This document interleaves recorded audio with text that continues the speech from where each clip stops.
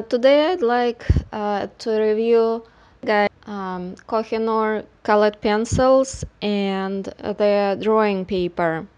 I want to say that I'm not an affiliate and um, I'm just uh, reviewing the art supplies once in a while and um, I'm using all of them in my work. Overall, uh, Polycolor colored pencils have pretty good light fastness. At least half of them are um, light fast. Um, they're quite soft and um, very competitively priced. Um, their color saturation is very good. Um, the only downside that I see is breakage. I have a large uh, set and I've done several colored pencil drawings using the set. Um, overall, these are very good colored pencils to do work on details and small drawings. They are not as soft or creamy as Luminance or Prismacolor Premier, but they layer very nicely and um, it requires minimal blending. These colored pencils feel very similar to Pablo colored pencils in their durability and softness. Um, you can create lots of details drawing with polycolor. They don't have exceptional saturation or vividness, however, these pencils will pleasantly surprise you with their range of beautiful colors and considerable color saturation. Um, in my blog post, I'm including a light fastness chart so you can see what colors are good and uh, what colors you need to uh, weed out of your set if you're worried about uh, the light fastness or longevity of your work.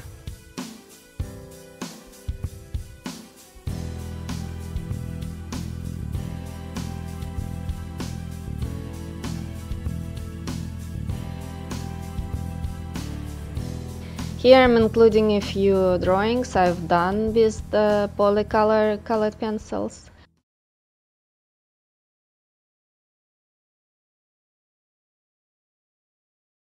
I also have a smaller set of woodless colored pencils and they feel very similar to polycolor. Um, it's uh, fun to sharpen them and um, it seems like you can use more of a pencil uh, because they're woodless. Um, the only downside is the fact that they break quite easily.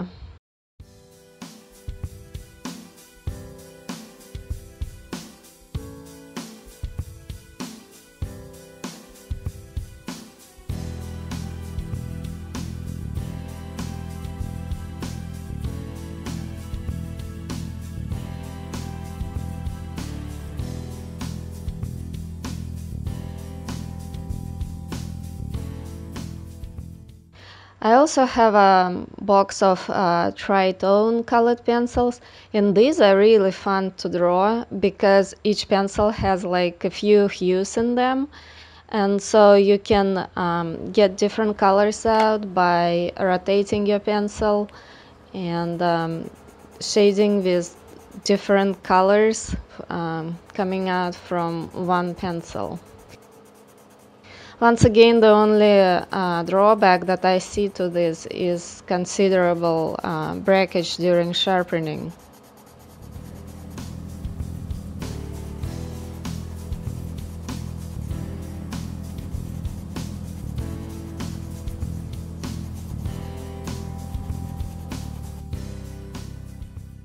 Uh, Koh-i-Noor drawing paper is fantastic. Uh, now it's my favorite uh, drawing paper. Um, I only wish that they uh, could come up with colored papers um, so I could uh, draw on colored surface. But I really like the surfaces that allow me to layer colors smoothly and it requires minimal blending which is really great. You don't have to have solvents to blend the colored pencils working on this paper. I think the unique feature is in and out pages because you can take your paper out, draw on it and then put it back in. I also like the uh, black drawing paper although the pages are very thin.